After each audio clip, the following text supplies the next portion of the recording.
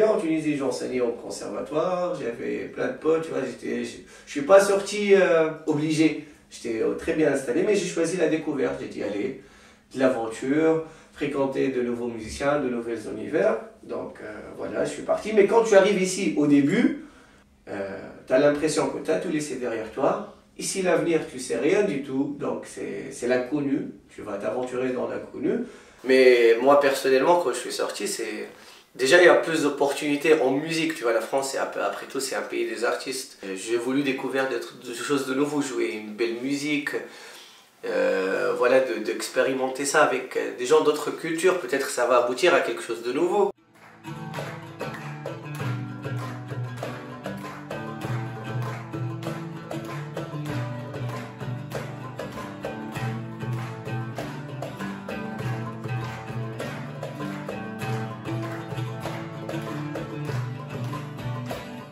J'étais au conservatoire, disons, l'âge 5-6 ans. Déjà, il a fallu attendre 3 ans pour avoir le haut. Donc, on va dire euh, l'âge de 9 ans. C'est ça. Et après, euh, j'ai fait le haut pendant deux années, deux ou trois, donc euh, à peu près 12 ans. Et j'ai arrêté pendant 3 ans. Donc c'était la période entre 12 et 15 ans. Donc là, j'étais petit, j'ai pas trop aimé. Tu commences à. C'est proche période d'adolescence. Non, je veux pas faire ça. Tu vois, j'aimerais pas trop euh, aller au conservatoire. Je veux jouer avec euh, les potes de ma résidence, au football, des trucs comme ça. Voilà, tu connais pas la valeur exacte de la musique parce qu'on était petit, on n'a pas trop cette culture-là musicale. Moi, je suis pas aussi issu d'un quartier qui est super chic. Donc voilà, il y avait toutes les populations. Et si tu dis je fais de la musique, ils vont même rigoler tu vas dire, moi je chante ou joue un instrument, ah, il fait ça, il fait ça, tu vois. Donc on petit. Donc ça, c'était un peu la rivalité pour être avec, euh, pareil avec tous mes copains. Donc voilà, j'ai du musique, bon, ça m'intéresse pas trop. Et pendant ces années-là, j'étais faire du volet. Voilà, avec que j'ai fait du volleyball pendant 4 ans. Donc euh, le volet, j'étais bien aussi, j'étais bien intégré. Et au bout d'un certain temps, voilà, je sais pas, il y avait un instinct, il y avait mes parents aussi. Franchement, eux, ils m'ont pas forcé, ils m'ont dit c'est ton choix à Thèves. Mais j'avais quelque chose vis-à-vis -vis ce oud-là il était, tu vois, toujours dans ma chambre et quand je le vois, je sens un truc qui m'attire toujours. Donc, et voilà, quand j'ai repris à l'âge de 15 ans, c'est ça. Et voilà, j'ai dit, allez, je vais faire, je vais le faire. Je peux le faire. Et ça commençait, ça décollait là, tu vois, à l'âge de 15, 16, ça y est, j'ai repris jusqu'aujourd'hui, j'ai pas arrêté.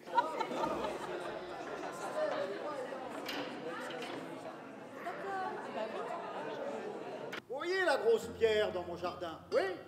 Ben, à l'âge de 20 ans, je ne pouvais pas la soulever. Et alors Eh ben, ce matin, j'ai essayé, je n'y suis toujours pas arrivé, comme à l'âge de 20 ans.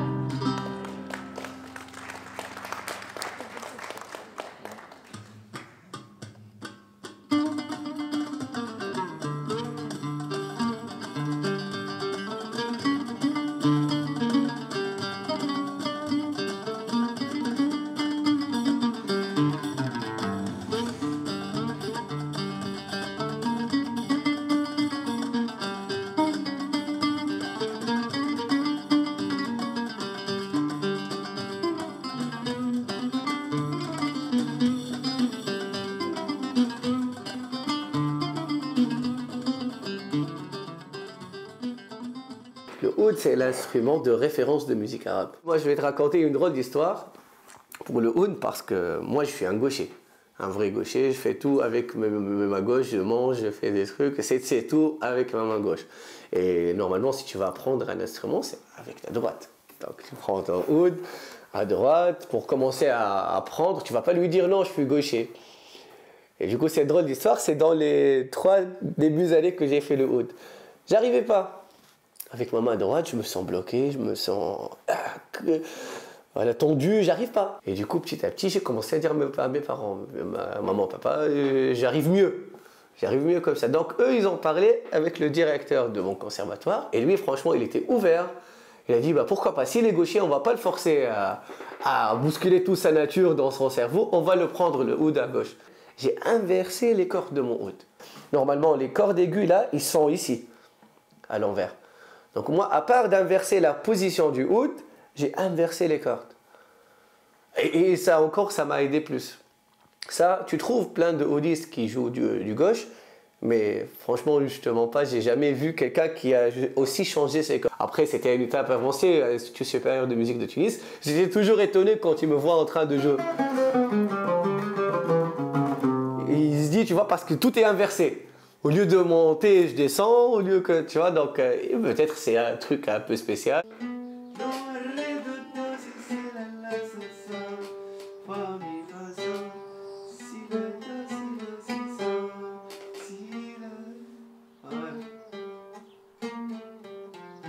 En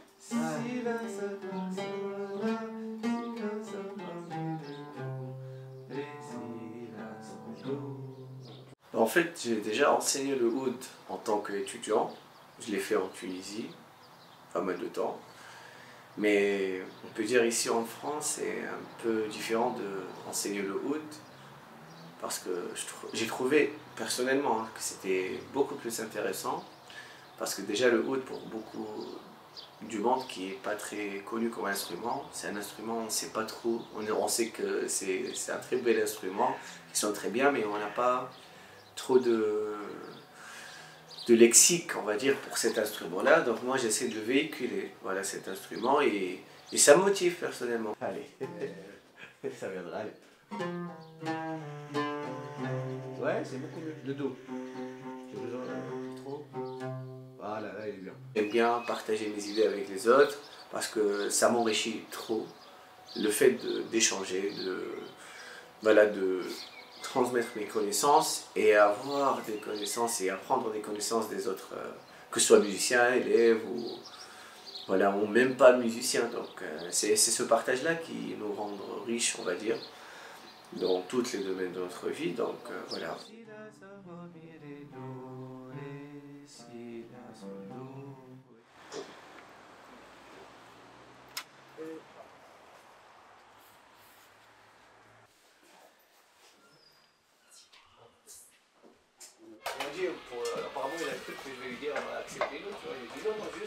Que j'ai postulé avec l'autre, au nom de ZF.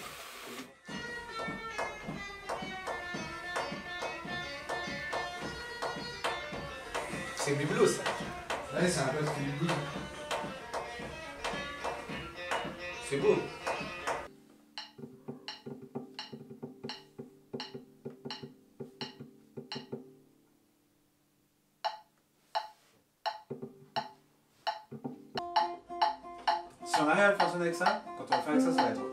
Je suis venu ici en France, ça m'a rajouté beaucoup de bagages en tant que musicien. Quand j'ai fréquenté plus de musiciens, j'ai dit, hop, à chacun des musiciens que j'ai rencontrés, j'ai appris un nouveau truc. Donc j'ai dit, si, si, si, je fais ça un peu partout dans le monde, je vais apprendre plein de trucs. Et ça ne s'arrête pas. Moi, quand j'écoute, par exemple, une musique turque, musique indienne, musique américaine, ça m'inspire. Donc je dis, pourquoi pas si je fréquente ces musiciens-là, ça, ça va être intéressant. C'est un truc qui passe comme ça. Ouais, c'est ça. En fait, ça part sur le contre-temps. En plus, après, c'est un rêve d'enfance. J'aimerais bien aussi rendre ma famille fière de moi, voir son fils à l'échelle mondiale, voilà. Ils viennent assister à des spectacles. Donc ça aussi, ça me tient à cœur. Ok, du coup, avec le,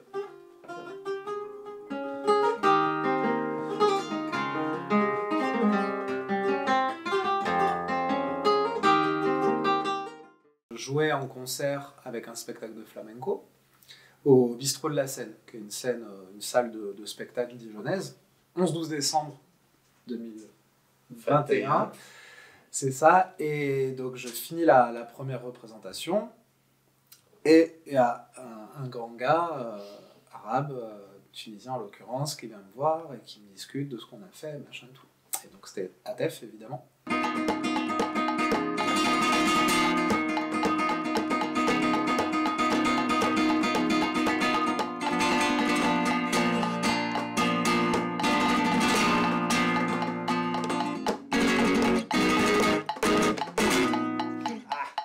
Il s'intéressait beaucoup au flamenco, et puis bon, bah, il, me parle de ce qu'il avait pensé du spectacle, tout ça. Quoi.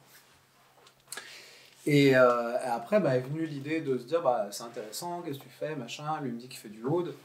Donc de se dire bah, on pourrait se, se retrouver, se re-rencontrer euh, une prochaine fois Et du coup, euh, donc après, c'est passé l'année, moi j'avais beaucoup d'autres choses de, à faire, de, de choses comme ça. Et, et on s'est revus en juin 2022, l'an dernier, enfin l'été dernier. Et donc là, on a parlé un peu de ce qu'on voulait faire, et c'est comme ça après qu'on s'est mis à, à faire de la musique ensemble.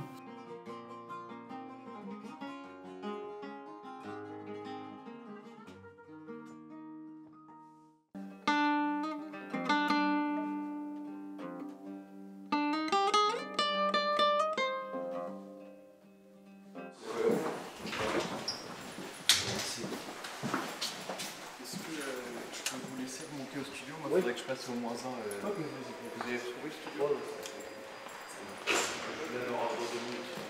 Yes. Je suis à défaut, je je ne sais pas.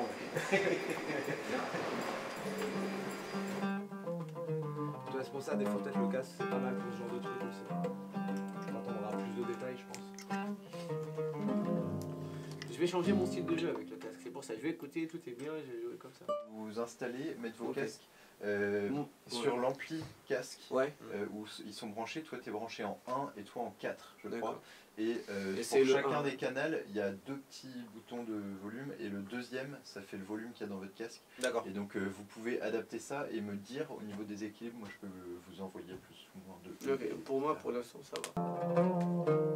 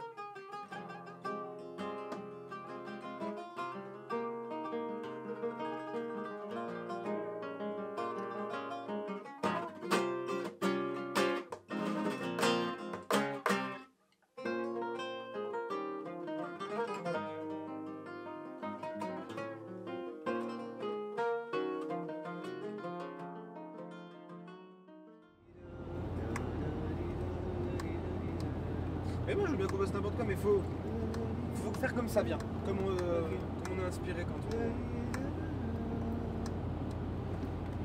Attends, je vais chercher un truc. Va mettre bien.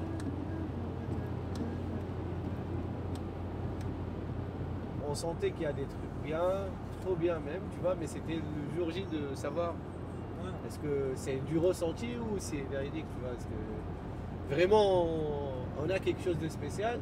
Et moi j'étais hyper content parce qu'il y avait, tu vois, deux personnes qui sont passées au studio et tout le monde qui a écouté ce qu'on fait, il a dit waouh les gars, vous faites quelque chose de très beau.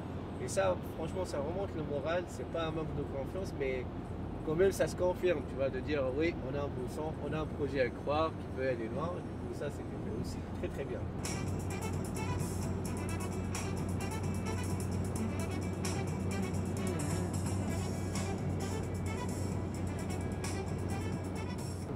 Tout à l'heure, le premier auditeur c'est le musicien, et je suis d'accord avec ça. Mais euh, le premier receveur en fait, euh, ce qui va faire que la musique elle est recevable, c'est l'adhésion du public.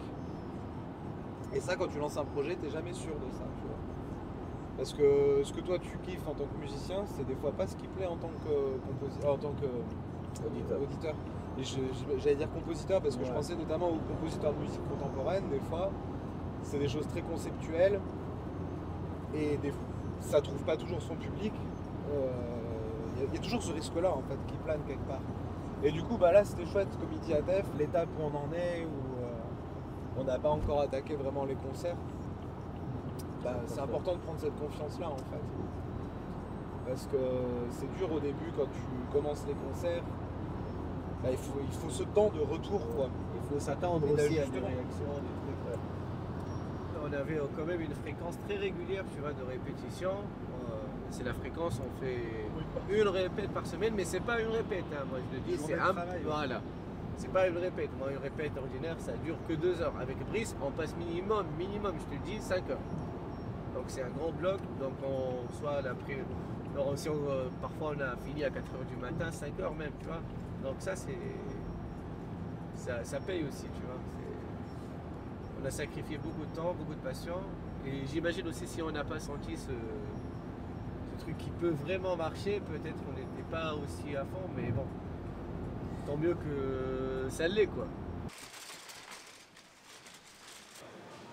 On aura besoin de l'oignon. On prend ça, Zid Oui. Oh,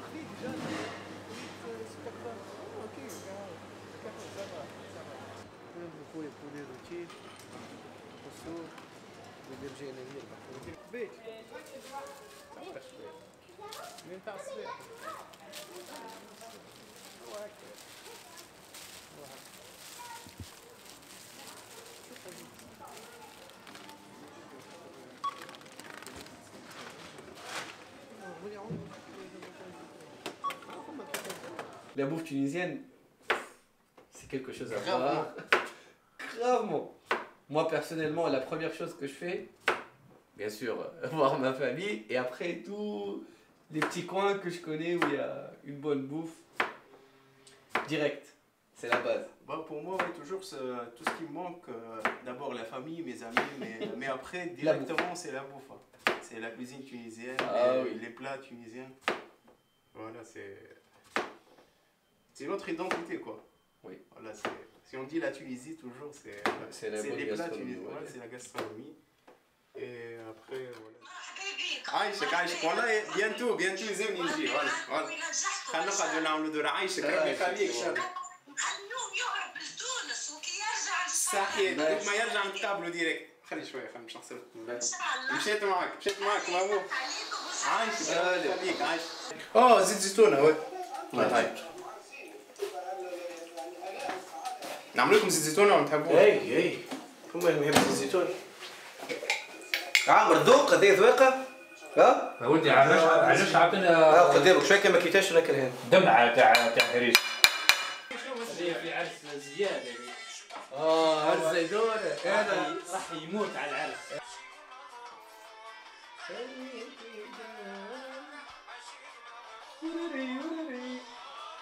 ما يحبش الزغريات هو. يو يو يو يو يو يو يو